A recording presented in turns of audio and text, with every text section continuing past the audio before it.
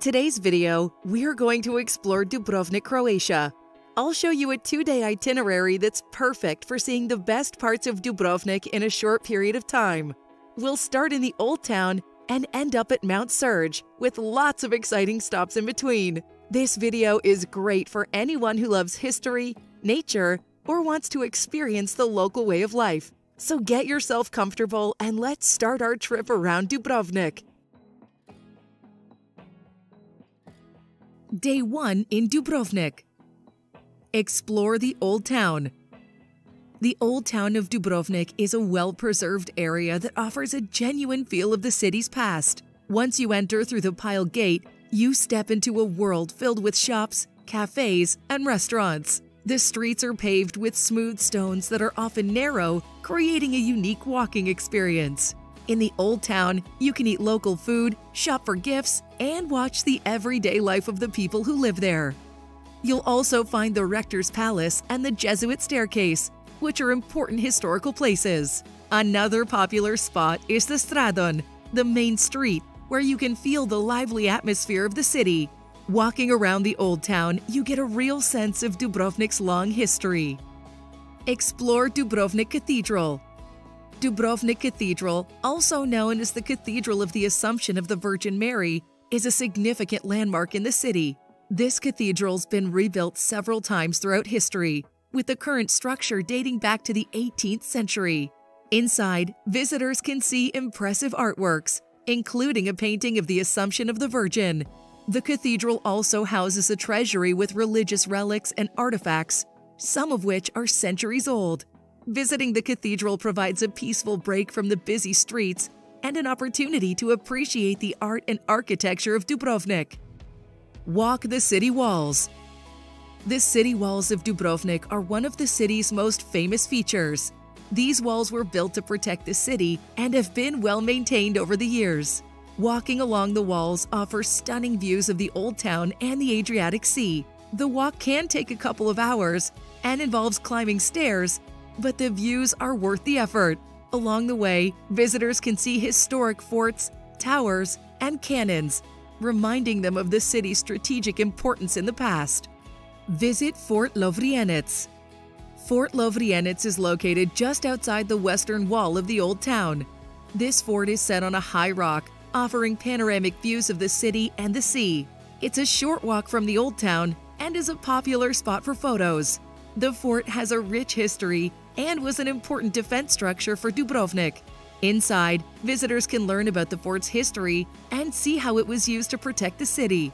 The fort also hosts cultural events and performances, especially during the summer. Catch the sunset at Dubrovnik West Harbor and Pier. The West Harbor and Pier in Dubrovnik are great places to watch the sunset. The area is less crowded than other parts of the city, providing a calm atmosphere to enjoy the evening. The harbor has beautiful views of the sea and nearby islands, making it an ideal spot for photography. Visitors can sit by the water, enjoy a meal at a nearby restaurant, or simply relax and watch the boats come and go. Nightlife in Dubrovnik. Dubrovnik offers a variety of nightlife options, from quiet cafes to lively bars and clubs. The city's nightlife is concentrated in the Old Town, where visitors can find places to enjoy live music, dance, or have a relaxing drink. The atmosphere is friendly and welcoming, with a mix of locals and tourists.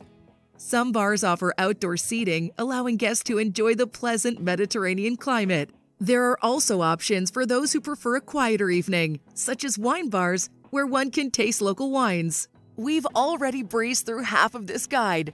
If you're loving the adventure so far, make sure to jump into the subscription below and check out the link for extra juicy details on the places we've explored.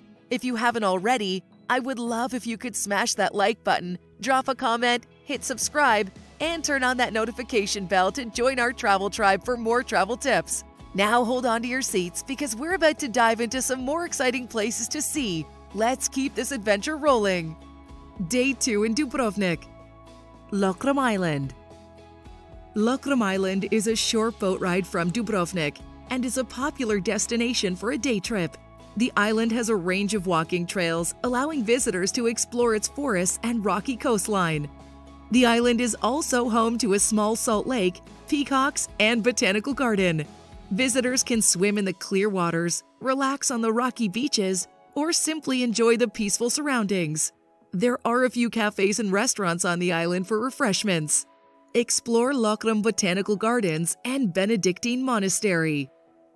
The botanical gardens on Lokrum Island are a must visit for nature lovers.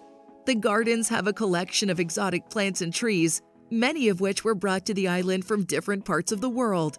The Benedictine Monastery is located nearby and is a site of historical and cultural significance. The monastery's ruins provide a sense of the island's past. The combination of the gardens and the monastery offers a unique experience of history and nature. Hike to Fort Royal and swim in the Dead Sea Lake.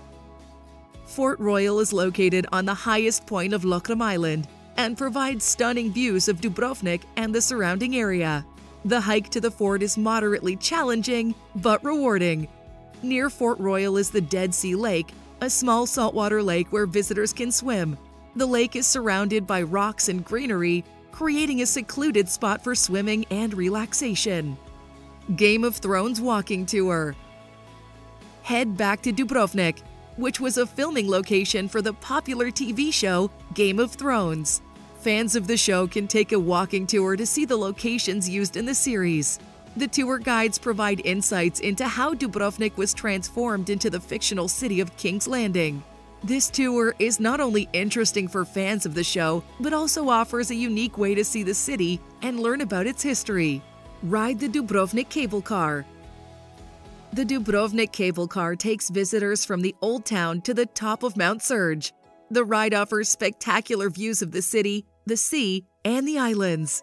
At the top, there's a viewing platform, a restaurant, and a museum dedicated to the Homeland War.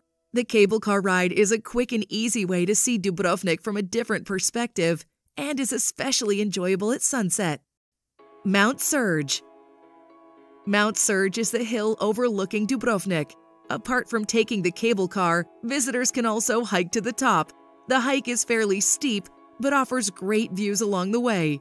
At the top, one can enjoy panoramic views of Dubrovnik and its surroundings and grab a bite to eat at the restaurant and bar. The Homeland War Museum at the top offers insights into the recent history of Dubrovnik and the region. I hope you've enjoyed this video. To find out more about the area, click the link below. That's a wrap for today's journey. If you found these travel tips and tricks useful, don't forget to hit that like button it really supports the channel. Got any travel stories or questions of your own? I'd love to hear them in the comments below. And for more adventures and travel advice, make sure to subscribe and turn on notifications. You won't want to miss what's coming up next. Until our next trip, keep exploring and stay curious.